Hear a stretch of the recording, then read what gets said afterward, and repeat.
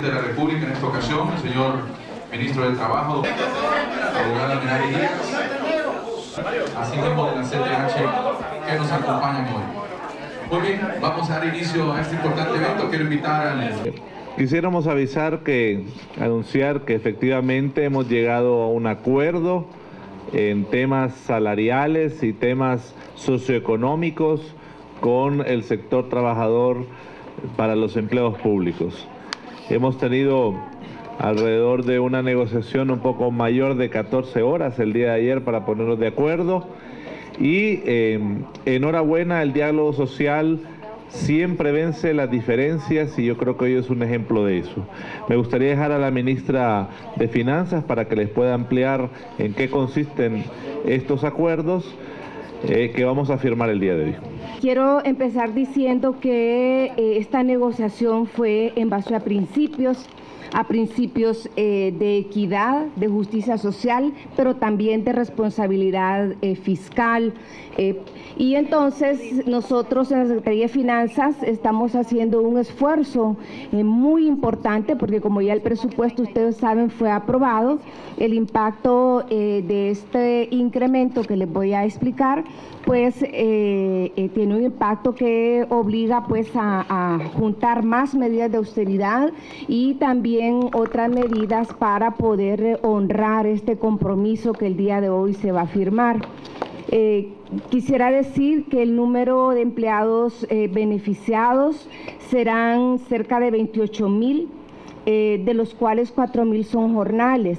Es importante tomar en cuenta que estamos incluyendo a la gente que tiene un tipo de, de servicio pues a través de esta modalidad de jornales. Y básicamente el, primer punto central que acordamos bajo estos principios que les mencionaba al inicio, primero es eh, eh, elevar al salario mínimo promedio, que es de 9.443, a la gente que está abajo del salario mínimo. Mire, hay gente que tiene, van a recibir casi, presente un beneficio casi eh, de 1.750 hasta 2.000 porque estaban muy por debajo. Eh, del salario mínimo promedio.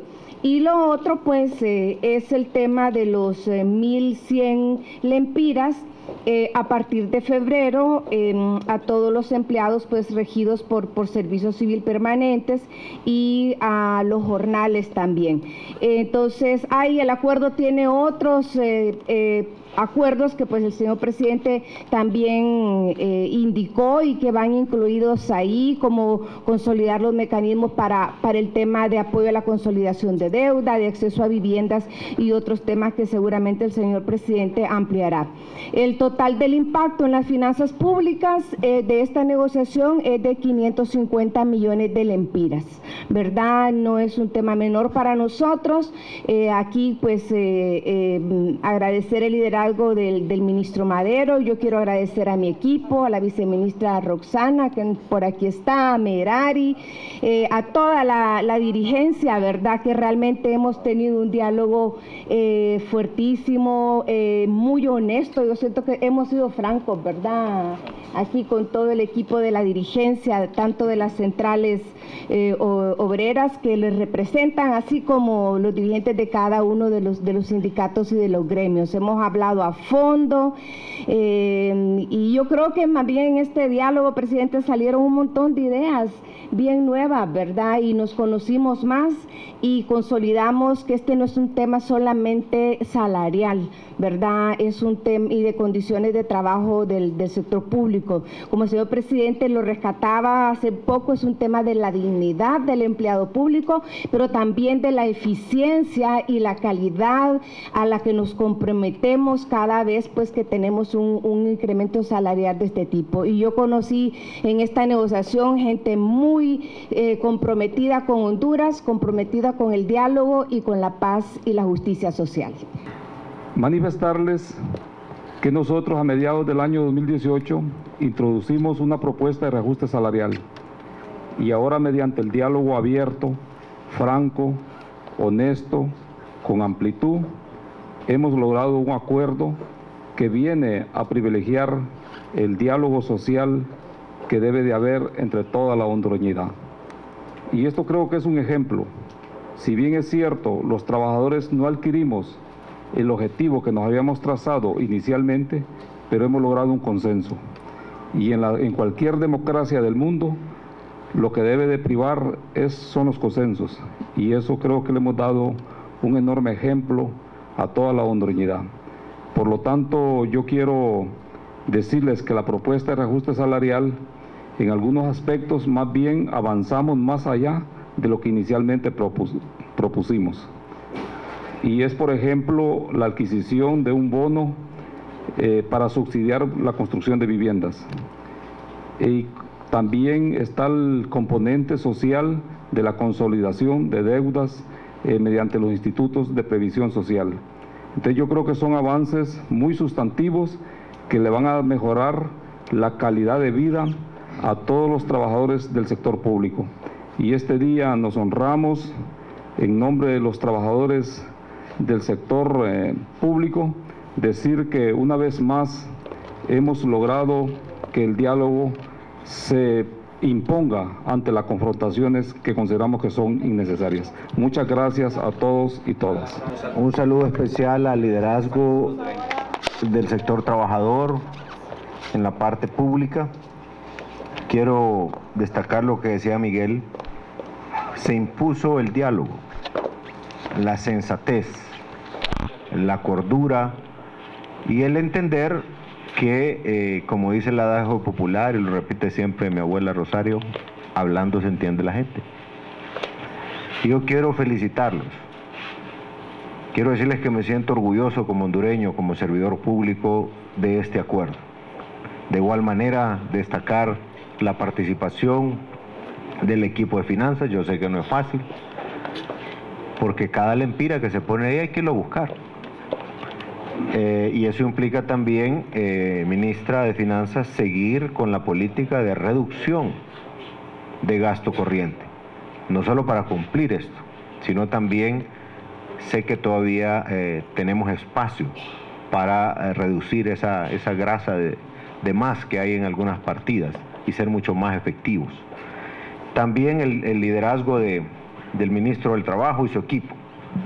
Así es de que esto se trata de la dignidad del trabajador del sector público, de hacerle justicia.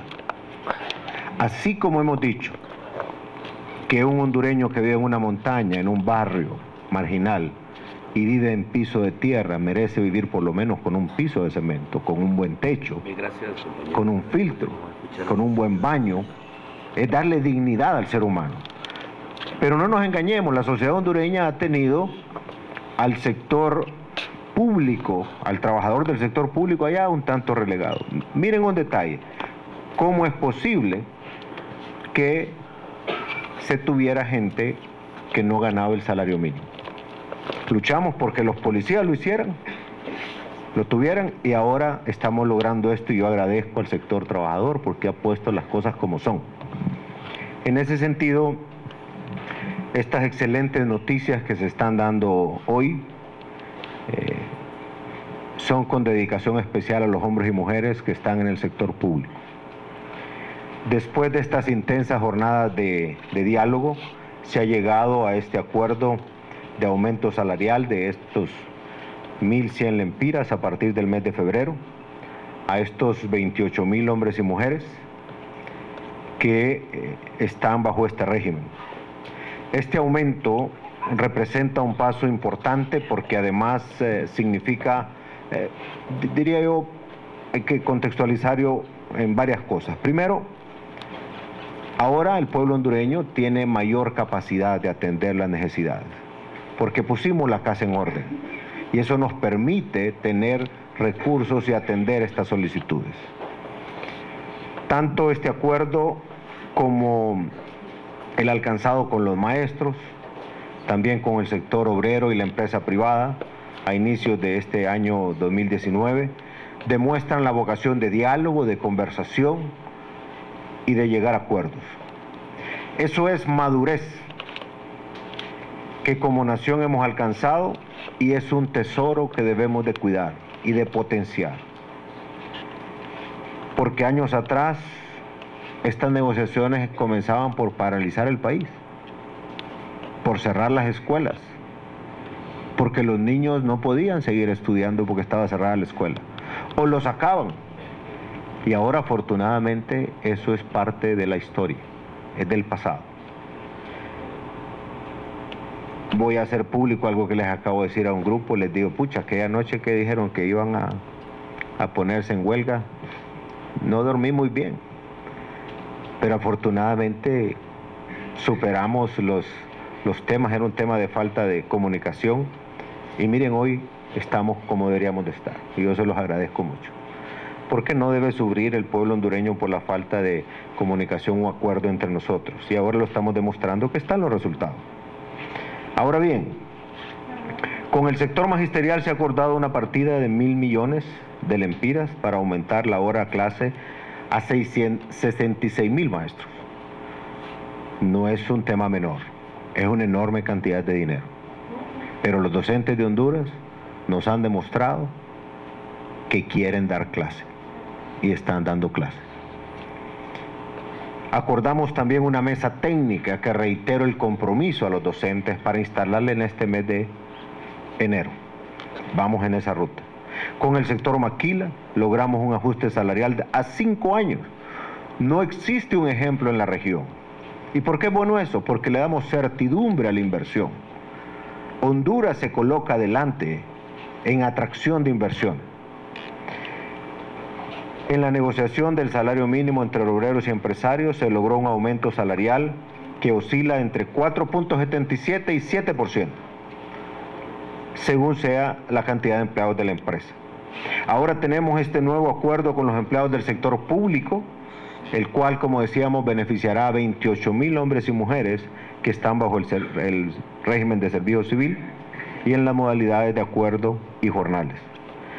Este incremento de 1.100 lempiras efectivo a partir de febrero representa para el Estado un enorme aporte en millones de lempiras pero lo merecen nuestros trabajadores. En segundo lugar, quiero destacar que haber puesto la economía en orden y que esté sana y robusta es lo que nos permite dar este tipo de beneficio, de compensación justa. Desde el inicio de nuestro gobierno prometimos que íbamos a ordenar las finanzas a fin de que los beneficios de una economía sana también llegaran a los bolsillos de los hondureños. Esto es parte yo les decía ahorita hace un ratito a algunos de ellos, tenemos que entender que hay que tener la casa en orden para que tengamos estos beneficios. Es como cuando el médico le dice a uno, manténgase saludable de esta y esta forma, para que más adelante no vaya a tener un problema de salud. Así son las naciones, las economías. En este punto también queremos destacar que como parte del acuerdo alcanzado vamos a nivelar, como les decía, un salario mínimo de 9.443.24 lempiras.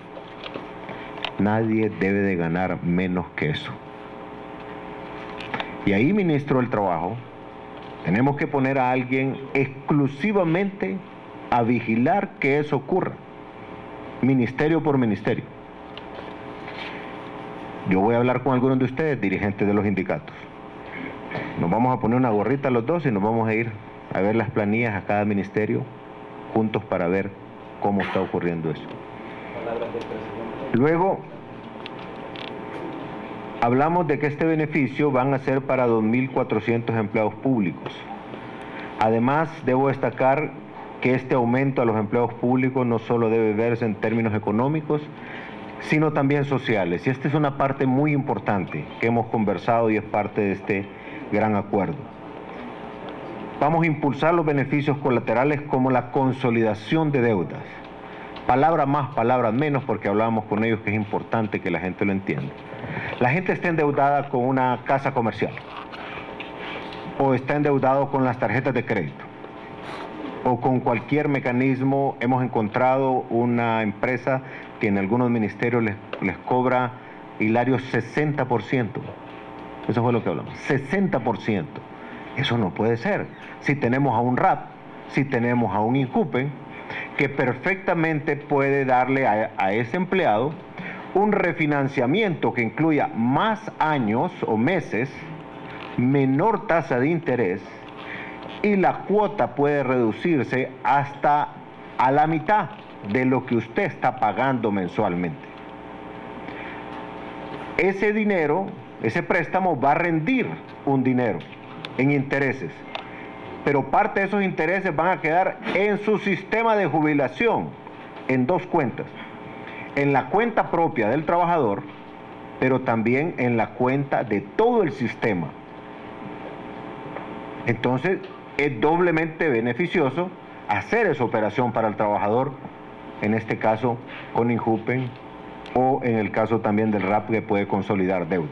O algunos tienen cooperativas, pero el tema es que no puede la gente seguir con que le salgan cinco lempiras, diez, 100 y mucho menos puede dar el otro paso que también hemos acordado, que es que tengan acceso a la vivienda o a mejorar la vivienda que ya tienen. Hace muchos años los sistemas de previsión del sector público dejaron de impulsar los proyectos de vivienda. Y ahora tenemos un enorme número de trabajadores del sector público que no tiene vivienda propia.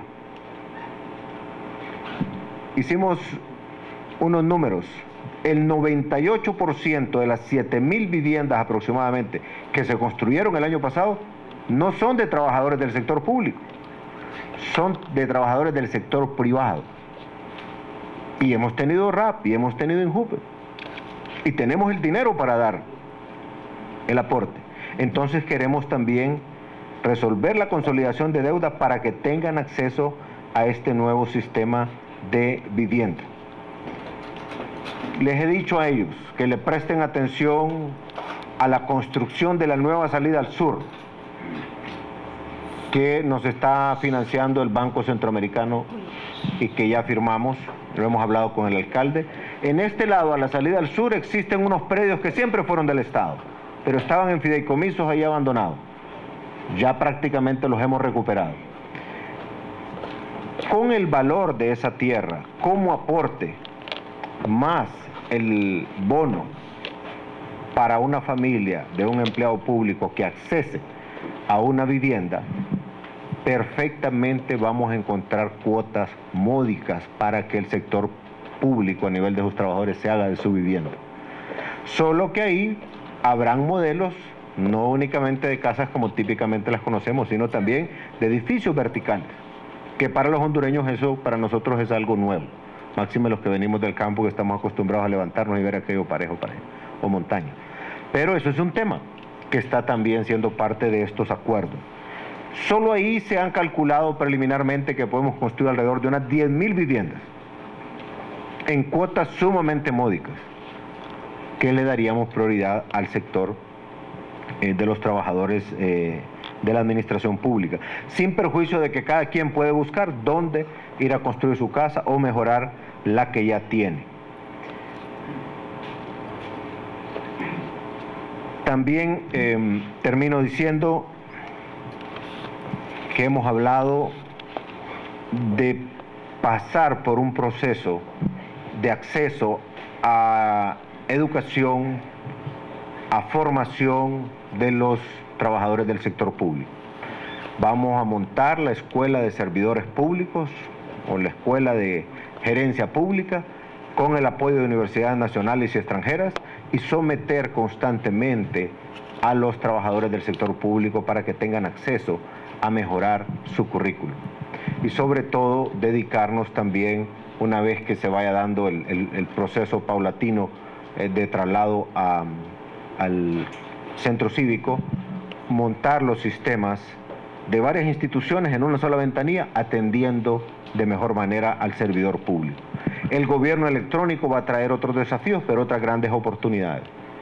Y eso va a mandar también otro mensaje muy concreto de dignidad para el servidor público. No es posible asociar al servidor público con que está allá con un escritorio con carcoma, con un baño maloliente, un techo que está a punto de caerle, sino que esté en una oficina y en condiciones igual o mejor que cualquier empleado del sector privado. es el mismo ser humano. A eso me refiero cuando hablamos de la dignidad del trabajador. Eh, termino diciéndoles que estoy complacido, alegre. Hemos mandado tres mensajes en fila, en batería, como diría un amigo mío, de que hablando se entiende la gente. Y que estos son los grandes consensos. Y como dijo Julio, el diálogo se impone ante el conflicto o el pleito y por eso les felicito. Ahora, ministra, a bajar ese gasto corriente.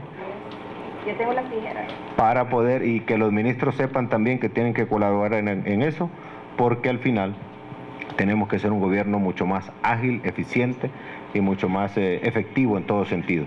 Y bueno, que ya ahorita a partir de febrero ustedes tengan ese, ese beneficio. Así es de que felicitaciones y muchas gracias. Don Daniel Durón.